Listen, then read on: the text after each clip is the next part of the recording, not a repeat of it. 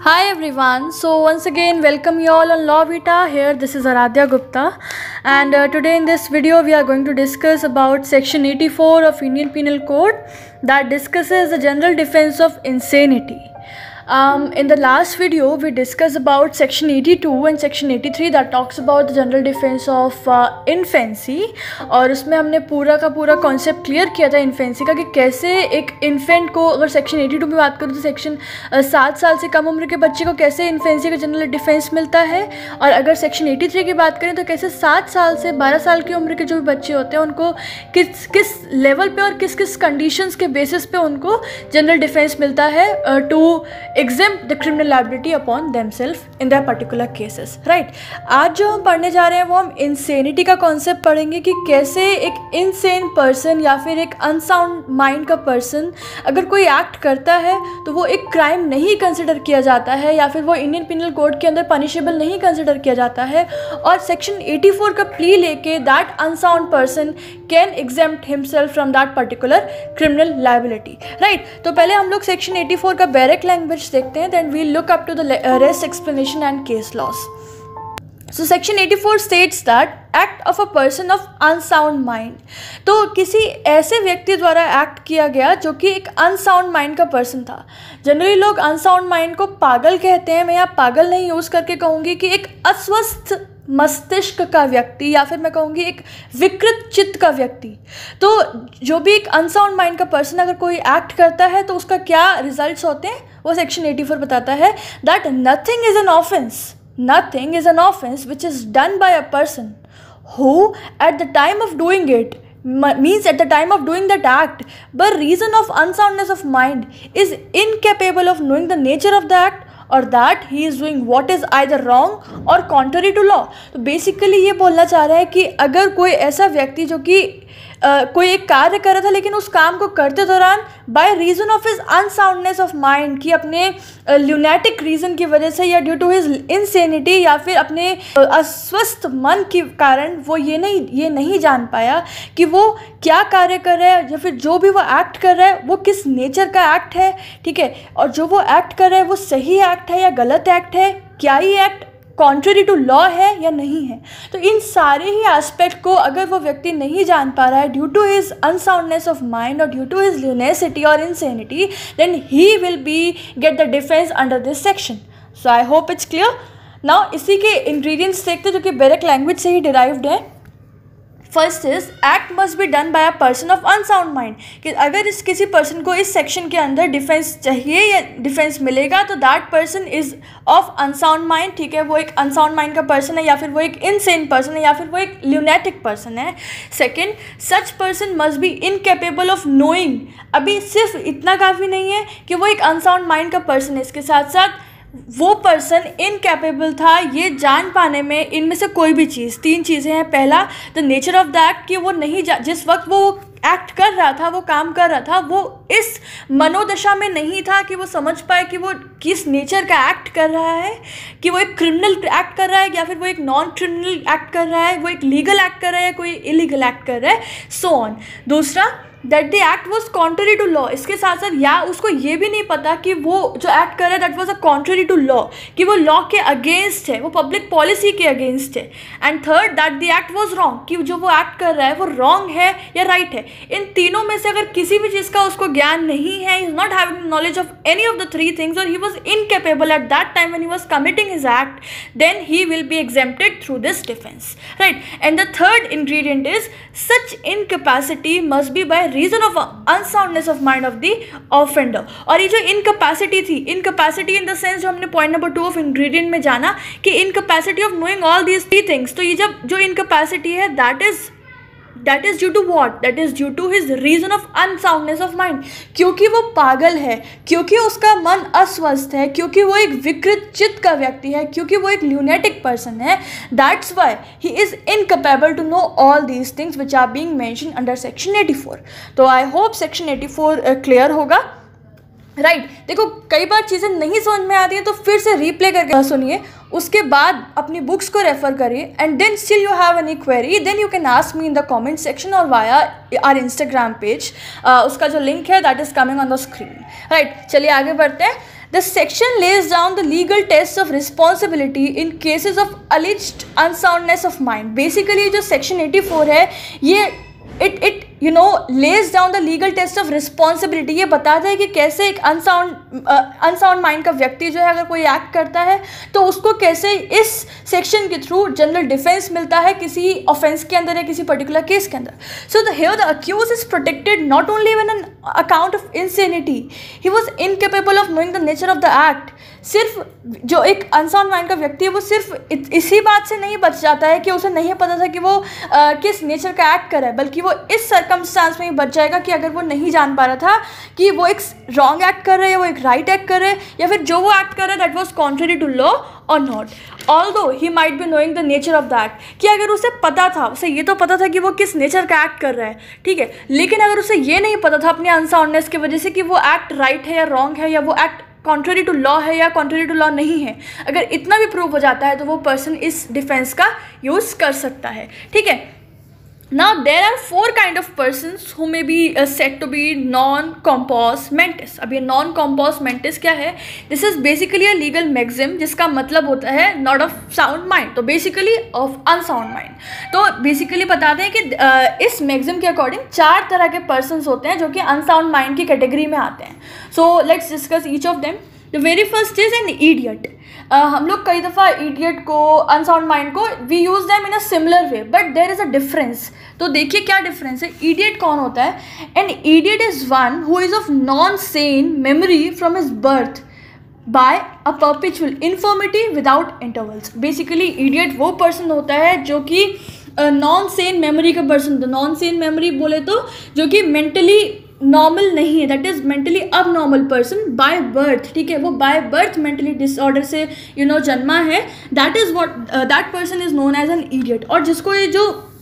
जिसकी जो ये इडियोसिटी है that is without intervals means that is continued ऐसा नहीं है कि उसको कुछ समय समय पर ही इसे कुछ यू नो दौरे आते हैं या समथिंग इट इज़ कॉन्टीन्यूड ठीक है? दिस उस पर्सन को कहते हैं an idiot means that person who is of non sane memory और who is not of mentally normal memory by his birth second category है one made non compos by illness पहला तो था कि जो कि बाय बर्थ था। यहाँ पे बात हो रही है बाय इलनेस कि बीमारी के कारण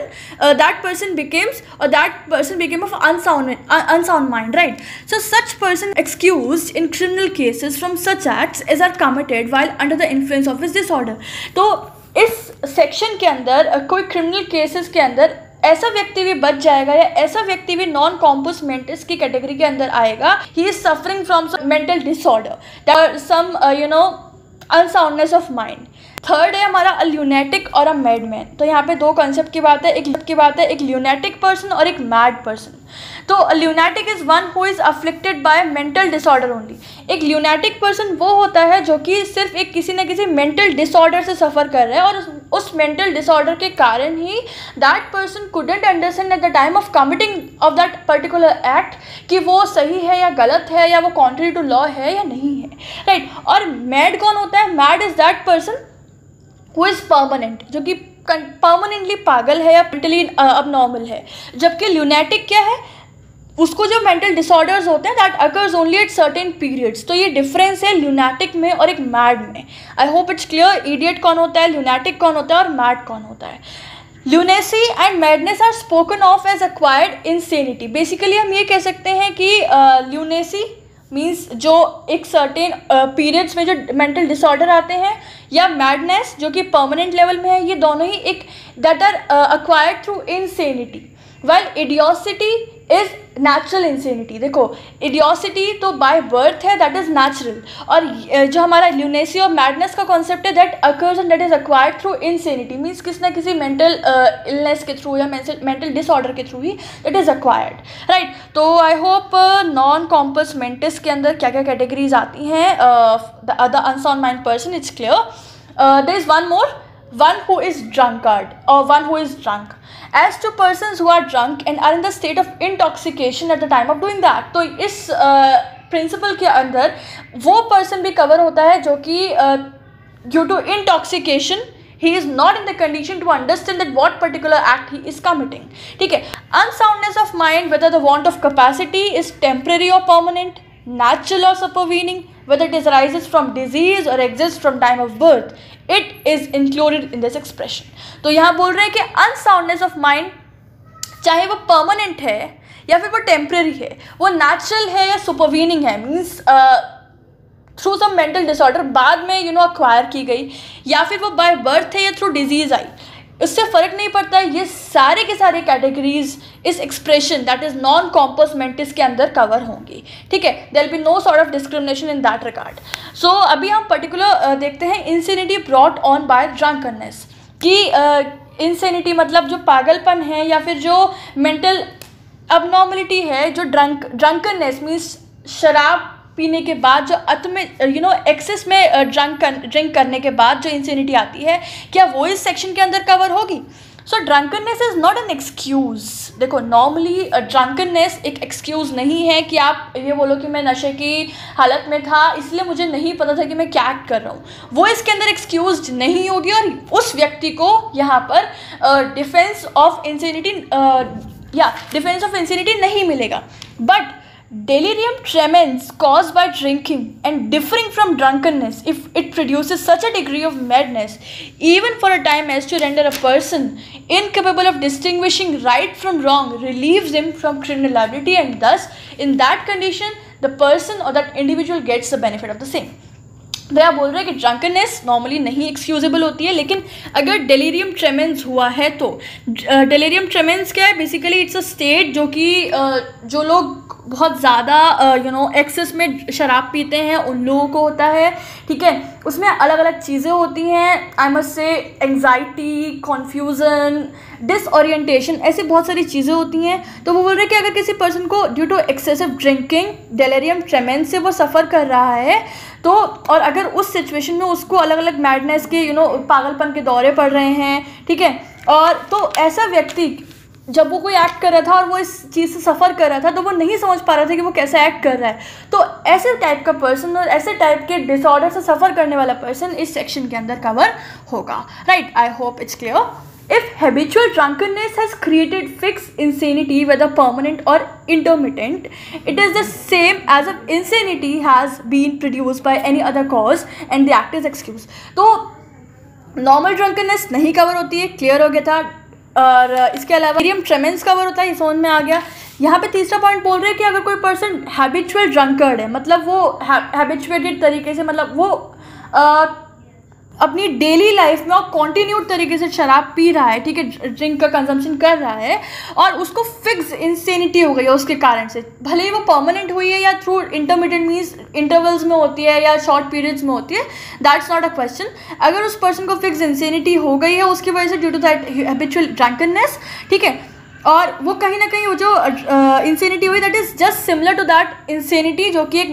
ड्यू टू इलनेस है ड्यू टू बाय बर्थ होती है। और उस दौरान उसने कोई एक्ट किया है और उसमें वो नहीं समझ पा रहे कि वो कैसा एक्ट कर रहा है नेचर क्या है एक्ट का कॉन्ट्री टू लॉ है रॉन्ग है राइट है। तो ऐसा पर्सन भी इस सेक्शन के अंदर कवर होता है। Right right? तो हमारा एक्सप्लेनेशन पूरा हुआ, बैरक लैंग्वेज पढ़ लिया। अभी हम लोग दो केस लॉ देखते हैं and that we after that will be done with this so the first case is R versus a a very important case this case is of 1843 और इस केस के बाद जो भी हेल्ड हुआ था कोर्ट के द्वारा that is what known as M'Naghten rules और उस मैगनॉटन रूल्स के थ्रू ही ये सेक्शन आईपीसी में एड ऑन किया गया था। सो आर वर्सेज मैगनॉटन में क्या हेल्ड हुआ था? It was held that in this case every man is to be presumed to be sane कि इन जनरली हर व्यक्ति सेन कंसिडर किया जाएगा। Sane means of normally mental person every person will be considered as normally mental no, sane right of sound mind and to possess a sufficient degree of reason to be responsible of his crime और अगर वो किसी case के अंदर tribal होता है या उसके अगेंस्ट प्रोसीडिंग्स चल रही हैं तो उसको ये कंसिडर किया जाएगा कि he is of sufficient degree उसे पता था कि वो क्या क्राइम कर रहा है and he'll be consider responsible of his crime right until the contrary is prove कि जब, अगर कोई कॉन्ट्ररी प्रूव नहीं होती, तब तक उसको सेन कंसिडर किया जाएगा and it will be consider that he is having the sufficient degree of understanding that what crime that he that particular has committed in that case ठीक है? But if a contrary is proved to their satisfaction that to establish a defence on the ground of insanity it must clearly prove that at the time of committing the act the accused was labouring under such a defect of reason from disease of mind as not to know the nature and quality of the act he was doing कि अगर uh, कोई contrary prove हो जाता है कि नहीं वो जो व्यक्ति था that was suffering from some mental disorder और from some disease of mind जिसकी वजह से वो नहीं जान पा रहा था कि जो वो एक्ट कर रहा है वो किस नेचर का है, किस क्वालिटी का है। अगर ऐसा प्रूव हो जाता है, तब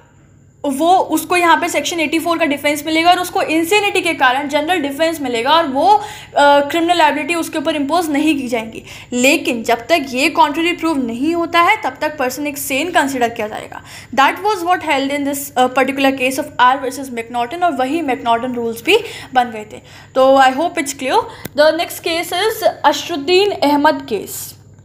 So in this case, uh, where the accused, on being commanded in his dream by someone in paradise to sacrifice his own son, took his five-year-old child to a mosque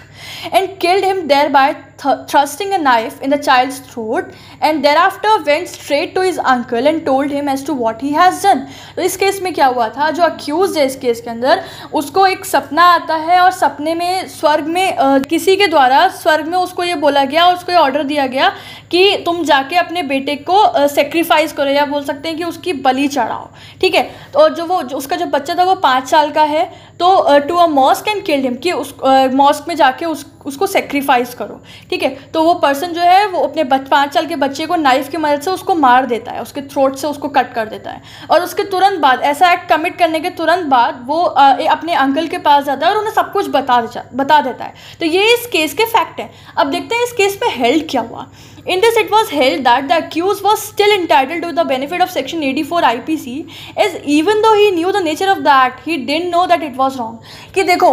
भले ही उस व्यक्ति को पता कि वो क्या एक्ट कर रहा है? क्योंकि उसे पता था तभी तो जाके उसने तुरंत अपने अंकल को बताया। लेकिन उसे ये नहीं पता था कि वो क्या क्या, जो वो एक्ट वो कर रहा है, वो क्या वाकई सही एक्ट कर रहा है, गलत एक्ट कर रहा है? और अगर किसी पर्सन को ये नहीं पता है कि वो सही एक्ट कर रहा है, गलत एक्ट कर रहा है तो उसको सेक्शन 84 का डिफेंस मिलता है। और वही इस केस में हुआ था, क्योंकि अशरुद्दीन को ये तो पता चल रहा था कि वो एक गलत मतलब वो एक जो एक्ट कर रहा है, वो किस नेचर का है कि वो अपने बेटे को मार रहा है। पर उसे ये, उस चीज़ का, उसे ध्यान नहीं था या उस उस चीज़ की उसे समझ नहीं आ रही थी at that moment of committing the crime कि वो एक्ट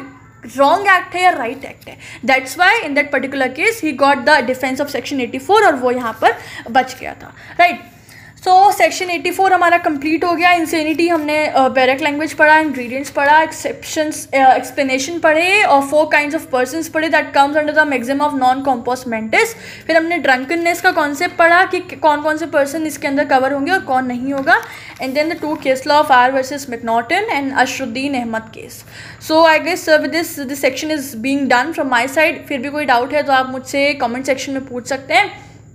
अगले वीडियो में हम लोग फर्दर सेक्शंस कवर करेंगे एंड येस मैं अभी आईपीसी ही कंटिन्यू रख रही हूँ। और अगर आपको किसी और सब्जेक्ट के वीडियोस चाहिए तो आप मुझे कमेंट में लिख के बताइए। This was it thank you so much everyone I meet you soon with the next video with the next legal content till then keep watching Lawvita, keep learning, keep sharing and if you like the content, do click on the like button. If you are new on watching it for the first time, do also subscribe to our channel and also click the bell icon so that you can receive all the latest updates of our all the upcoming videos. So this is it. Take care. Have a nice day. Bye-bye.